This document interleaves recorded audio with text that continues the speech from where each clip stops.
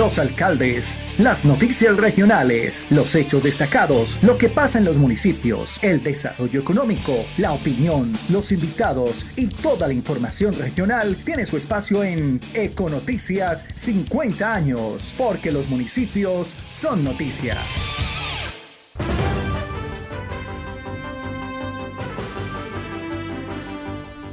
Queremos hoy presentar en los municipios son noticia al alcalde de Cunday, Luis Gabriel Pérez, porque a 3.000 familias llegan las ayudas en el municipio de Cunday. Se compraron a los campesinos la producción de frijol para ser repartida a familias de la localidad. La administración de Pérez continúa trabajando por llegar a más familias con productos de primera necesidad, logrando adquirir elementos a precios que permite grandes cantidades y coberturas de kits alimenticios. Buenos días, alcalde. Bienvenido a Econoticias. Muy buenos días, Juan Pablo, a usted y a toda su radio audiencia y audiencia en todo el Tolima y Colombia. Hablemos un poco del proceso de compra que viene adelantando su administración y que beneficia a productores de frijol en Cunday. Bueno, pues no solo los productores de frijol, sino las compras que hemos hecho a nivel más grande. Quiero contarle que el frijol lo conseguimos aquí a los productores de Cunday. Es frijol calidad bola roja, que es el frijol más costoso que hay en el mercado pudimos hacerles a ellos una compra y nos salió a 3 mil pesos la libra de frijol. ¿Qué hicimos con este frijol? Armamos unos kits nutricionales y los entregamos a 3 mil familias de Kundai, junto con una inversión que hicimos en arroz, pasta, aceite y un bloque de jabón tipo rey. Quiero decirle, Juan Pablo, hoy me acaban de, de ayer me llamaron a decirme que nosotros estamos dentro de los cinco mercados más baratos de Colombia en materia de COVID y entrega de mercados. ¿Aceite y arroz más baratos que el promedio de mercado?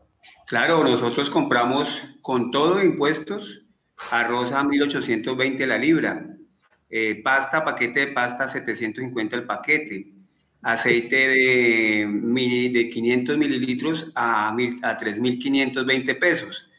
Eh, son precios que no los conseguimos ni siquiera en las tiendas de la esquina porque tengo entendido que el arroz está sobre los dos mil pesos.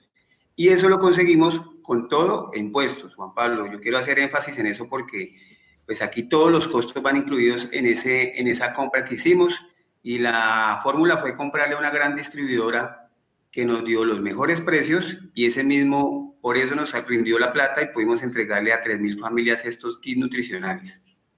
¿Ya cubrió el 100% del municipio como lo prometió la, la vez pasada que lo entrevisté? Eh, estamos en eso, llevamos un 83% del municipio, lo que nos ha faltado son las zonas rurales, porque como yo le dije a la comunidad y yo lo prometí cuando hablé con ustedes, allá donde llegó Luis Gabriel Pérez como candidato a visitar la gente, allá voy a llegar como alcalde a entregar un kit nutricional. Estamos llegando al 100% y yo creo que ya esta semana cumplimos con la meta de poderle llegar a la gente con un mercado muy económico pero que es un kit nutricional que entrega el municipio de Cunday. Así como lo hizo el alcalde Hurtado en Ibagué con toque de queda, ¿usted también decreta toque de queda en Cunday? Sí, señor, nosotros adoptamos esa medida a partir del viernes de toque de queda desde las 6 de la tarde hasta las 5 de la mañana. Nos tocó, Juan Pablo, porque eh, veo que la gente a partir del 27 se relajó un poquito, hay muchas personas que consideran que el riesgo no es latente.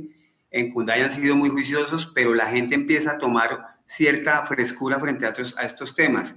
Yo veo con preocupación que cada vez más la gente tiene menos prevenciones, tanto en Ibagué como en los otros municipios, y Kundai no es la excepción. Por eso decretamos el toque de queda y creo que esta semana vamos a tomar medidas más coercitivas porque se está creando entre la gente una, una tranquilidad que es yo creo que es muy peligrosa.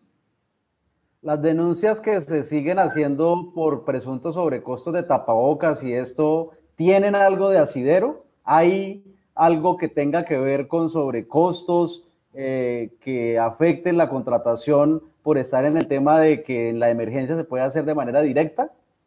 No, para nada, Juan Pablo. Yo en eso sigo haciendo énfasis en que nosotros todos los precios están sobre precios de mercado en el tema de los mercados estuvimos por debajo de precios de mercado. El tema de tapabocas y de los, el gel antibacterial, lo que pasa es que hubo un boom mediático en su momento, eh, nos incluyeron en esa desagradable lista de sobrecostos. Ya los documentos los tienen los entes de control, estamos esperando que ellos hagan las investigaciones, pero no, yo quiero ratificarle que en Kundai no hubo sobrecostos. Aquí lo que hizo fue un tema de demanda y oferta. Nosotros compramos el 19 de marzo, cuando había aquí una crisis, un colapso, una histeria colectiva por comprar este tipo de bienes. La gente tiene que acordarse que en esa época, en el 19 de marzo, no se conseguía ni un tapabocas, no se conseguía ni siquiera un, gel antibacterial. Y nosotros pudimos hacer una adquisición a precios de mercado, porque déjeme decirle, tenemos todos los soportes de los precios de esa época. Y hoy en día, hoy en día, tenemos facturas, tenemos comprobantes de precios de litro de 27 mil a 35 mil pesos el litro. Y que adicionalmente ese contrato, que fue lo que no dijeron algunos medios y redes de, redes sociales es que adicionalmente ese contrato venía con 200 dispensadores de pared públicos en el comercio y 2.000 recipientes de litro dispensadores. Entonces lo que queremos es que eso lo aclare las, los entes de control para que no engrosemos ese listado de duda que hay. Y aquí recordarle una cosa muy importante a los tolimenses y a los cundayenses.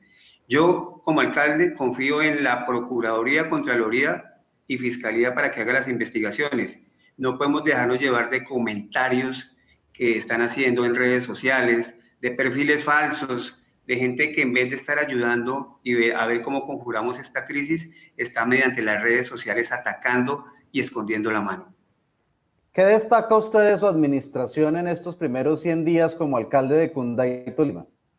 No, mire Juan Pablo, de lo más importante, nosotros en 100 días hemos recuperado la malla vial terciaria, yo creo que en un 70%, Adicionalmente, pudimos conseguir para la estación de policía una camioneta, gracias al coronel Carrero. Hemos hecho varios esfuerzos y tenemos proyectos ya andando en Bogotá. Lamentablemente, con la crisis fue muy difícil continuarlos. Eh, usted sabe, nos mataron un concejal. Con toda la organización y el liderazgo que tuvimos en ese tema, se pudieron, eh, se pudieron capturar a los, a los que cometieron este asesinato. Tenemos proyectos muy importantes que estoy seguro que van a salir. Y sobre todo, Juan Pablo, que en afrontando la crisis creo que nos ha ido bien. Hemos hecho unos esfuerzos sociales, más que en infraestructura, sociales.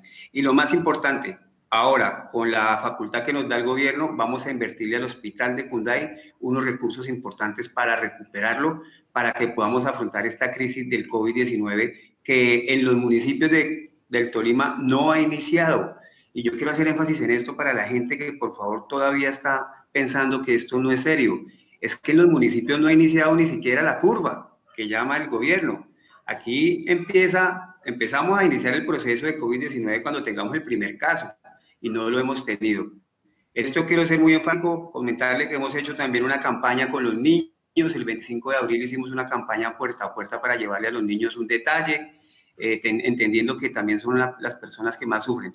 Y queremos apuntarle a un reto, Juan Pablo, con la, vamos a hablar con el gobernador cómo nos colabora con el tema de la conectividad, porque los niños no pueden pensar en conectividad y estudiar desde la casa cuando no tienen plata, no tienen ingresos, y el servicio de Internet, así sea un servicio público, es un servicio oneroso. El que tiene, paga, y el que no tiene, no paga. Es difícil. Perfecto, pues doctor Luis Gabriel Pérez, alcalde de Cunday, Cunday Tolima, gracias por este breve informe y por sus eh, prematuros resultados para los cundayenses en el departamento del Tolima. Usted es muy amable y seguiremos informando sobre los municipios del Tolima. Bueno, muchas gracias.